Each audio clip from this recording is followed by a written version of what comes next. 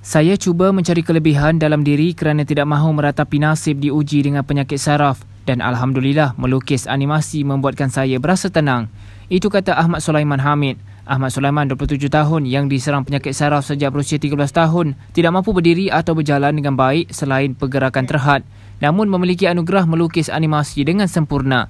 Berbekalkan pen dan kertas, dia melakar setiap wajah animasi kegemarannya berpandukan imej di dalam telefon bimbit selain mengakui aktiviti itu memberikan ketenangan sehingga dapat melupakan ujian ditanggungnya selama ini.